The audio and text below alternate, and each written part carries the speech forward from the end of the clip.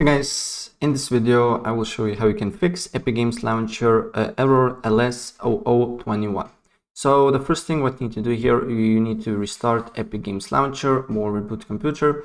Uh, maybe you have some corrupted files, but nevertheless this is the error of the game ownership. So you get this error when you don't have the game ownership. So what you need to do here, you need to uh, open up Epic Games Launcher and you need to make sure that you logged in with the right account.